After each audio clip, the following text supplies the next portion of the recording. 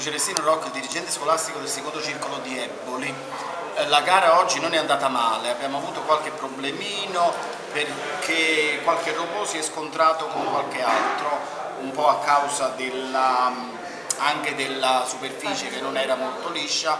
Speriamo che vadano bene dopo domani, alla finale.